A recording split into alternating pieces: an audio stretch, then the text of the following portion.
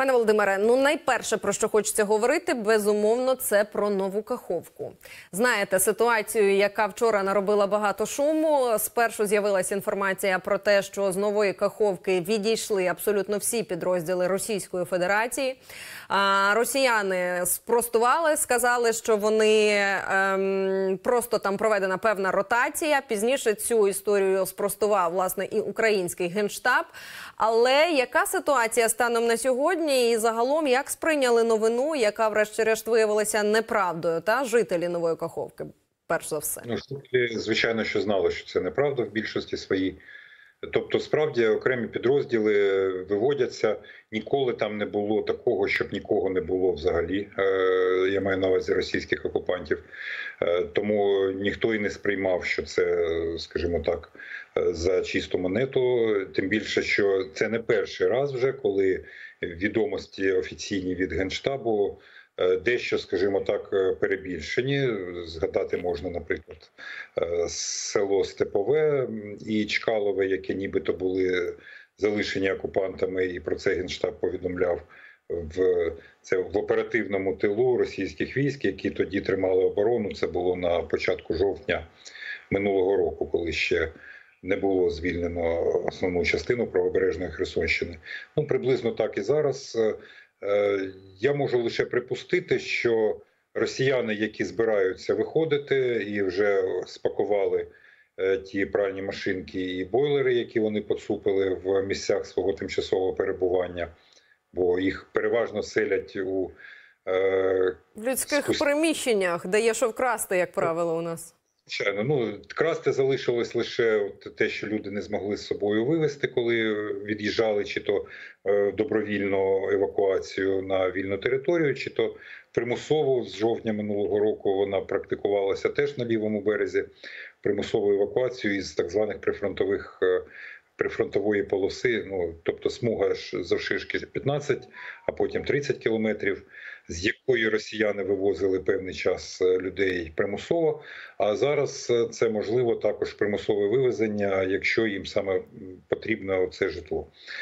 Е, ну і Потім, звичайно, що сувеніри, такі як бойлери і пральна машинка, це обов'язково також килими.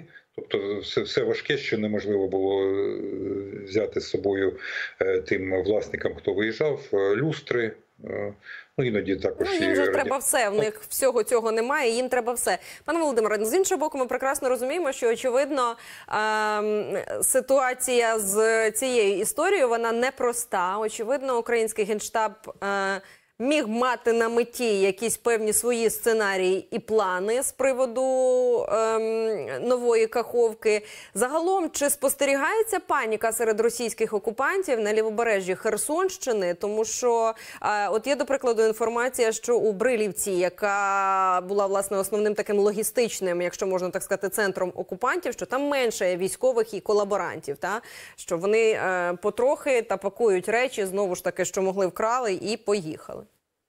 Давайте так по, по порядку. Брилівка е, перестала бути е, безумовним логістичним центром після того, як е, в липні, 9 липня минулого року, було влучання нашою ракетою і знищені боєприпаси, підпалено нафтобазу.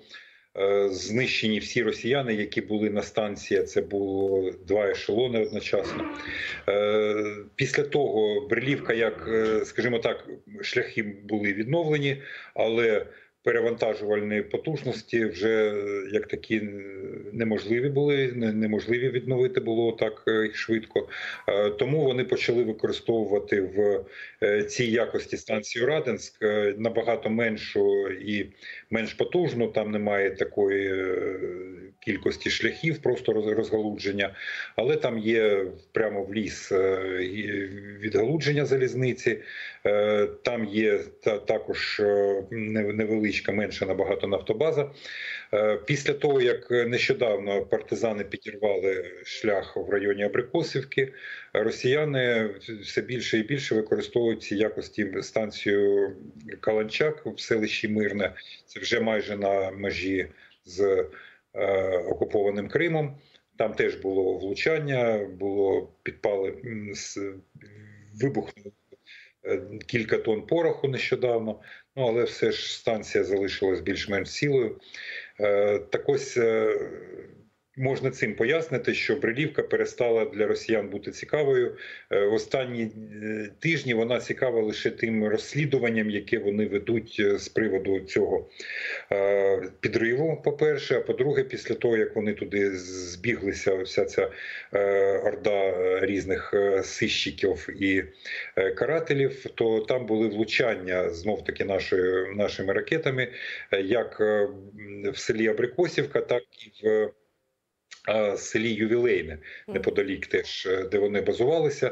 Е, Там були е, вбиті десятки російських оцих карателів, і більш того, як вишня на торті, після того ще прямо в ювілейному заїхав туди, мабуть, перевіряти у цих каральних справах своїх підлеглих керівник патрульно-постової служби Херсонської ОМВД в Херсонській області окупаційного на прізвище Москаленко, і там його машина підірвалася. Скоріш за все, вибухівка була закладена ще в новій Каховці. Він родину вивозив до Скадовську. Отже, що в цілому? Е, Ну, вивіз, да, і не сам же бе- без нього довезли, вони там поранення отримали. Так ось е, в Новій Каховці, Каховці, Таврійську, Голій пристані і Олешках е, ніяких карателів не залишилося, залишаються російські війська. Вони намагаються всіма правдами і неправдами звідти перекочувати на основні бази, які розташовані в лісі, де почуваються більш- більш-менш комфортно. Туди здається, якщо і були влучання в склади, то щоб там гинула така масово гинула жива сила, про це я не знаю. Хоча вони це в таємниці тримають, вони туди місцевих не пускають, тому можливо просто не все відомо. Е, Про це Е, вони звідти виїжджають е, на певний час, е, передусім це градами і САУ, роблять обстріли і в капоніри, які вони там викопали, заїжджають назад. Тобто, це не ознаки паніки, це ознаки, скажімо так, е, е, доволі проблемного розташування на, на безпосередньо на березі Дніпра, і більш-менш здається комфортного для них на основній базі. Далі в тил там взагалі у них комфорт повний. Е, сидять е, окремі підрозділи, які там навчаються, їх там тасують, ротують, але небезпеки вони не відчувають. Я маю на увазі далі на південь за лісом. І за А ще хочу запитати, пане Володимире, буквально одне. Розкажіть про ситуацію в Генічіску, та тому що там також є інформація, що є автобуси, які зарезервовані для евакуації. Ну і загалом про паспортний терор. Також кажуть про те, що е, всіх людей кошмарять, проводять обшуки, і не тільки для того, щоб вони е, російські паспорти оформляли, та й для того, щоб перевірити, чи люди не співпрацюють з українськими військами. Коротко, тема е, вивезення. Дійсно, колаборанти намагаються свої родини повивозити подалі. Причому навіть не в Генічеськ, Скадовськ, це проміжні пункти, лише далі в Крим і навіть на е, територію Росії. Але самим їм зараз е, перешкоджають е, вибиратися за межі Херсонщини, Е, тобто той блокпост російський, який стоїть в Армянську, а також стоїть і в Сольоному озері на Чонгорі.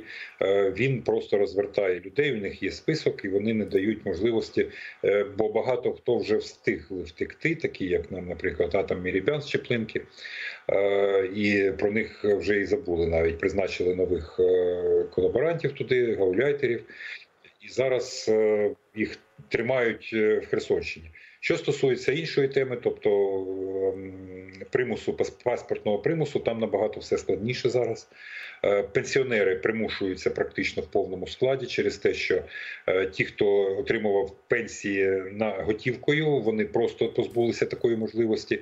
Їм дали спочатку одноразову російську допомогу. 15 Е, секунд, пане Володимире.